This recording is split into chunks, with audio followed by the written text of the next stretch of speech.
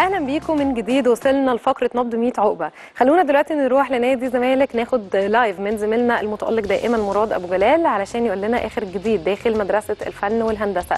يا مراد برحب بيك. وماذا لديك اليوم؟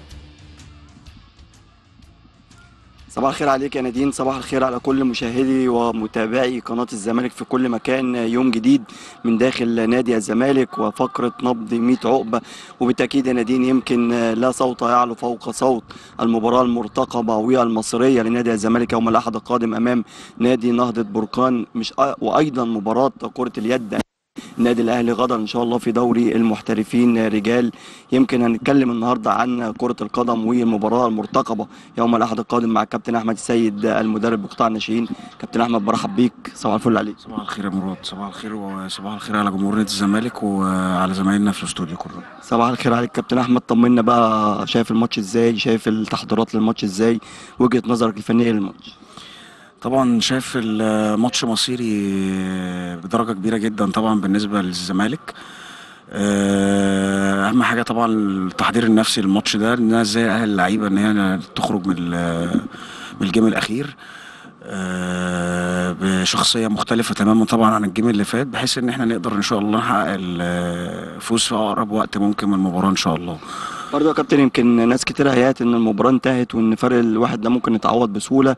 مش عايزين إن الناس تفك مش عايزين اللعيبة تفك. المباراة صعبة المباراة لسه إحنا جايين من المغرب والماتش لسه 2-1 لفريق نهضة البركان. فبرضه عايزين نتكلم إزاي إن إحنا نقدر نوقف اللعيبة ونقويهم نفسيا ونبعدهم عن أي ناس بتفهمهم إن المباراة سهلة والدنيا بقت سهلة.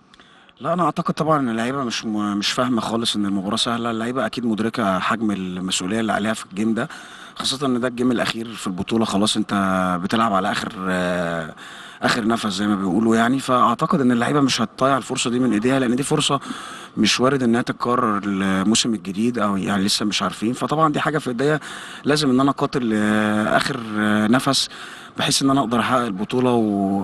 وأستغل طبعا وجود الجمهور إن شاء الله هنا اللي هيبقى بعدد كبير. لأن طبعا برضو ده كان عامل ضغط علينا هناك في المغرب وكانت المباراة صعبة.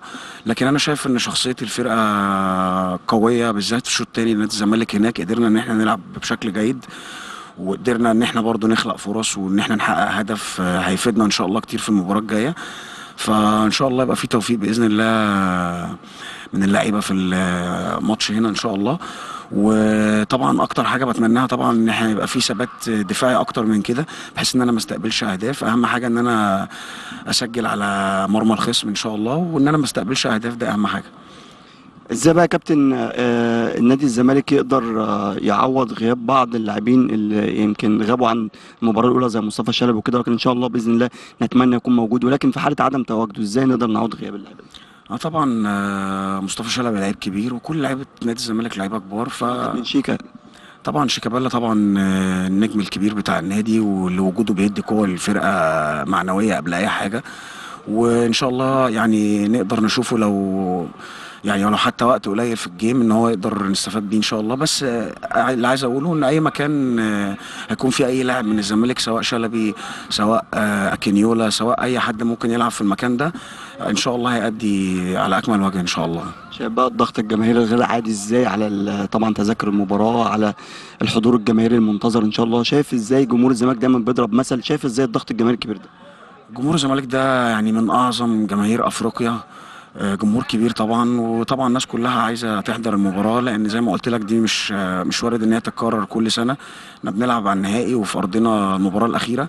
فطبعا كان في ضغط كبير جدا حضور جماهيري الناس كلها عايزة تحضر.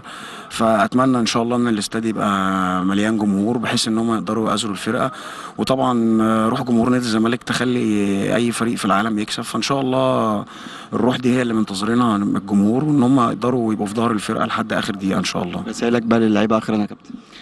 والله أهم حاجة التلاحم والوحدة في الملعب بره وجوه الملعب أهم حاجة إن هم هيلاقوا نفسهم نفسيا قبل الجيم وما يبقاش في تفكير في أي حاجة سابقة سلبية كل التفكير يبقى في حاجات إيجابية وأتمنى إن هم يخرجوا نفسهم بره أي مهاترات وإن هم يلتزموا بتعليمات المدرب وإن يبقى في بس استراتيجي أفضل في وقفتهم مع بعض وفي تفاهمهم الدفاعي يعني. شكرا يا كابتن أحمد نورتنا كالعاده شكرا مراد شكرا. يا كابتن يعني لقاء خاص مع كابتن أحمد السيد مدرب قطاع ناشئين بنادي الزمالك كل التوفيق إن شاء الله للاعب نادي الزمالك يوم الأحد القادم. الآن أعود إليك يا نادين إليك الكلمة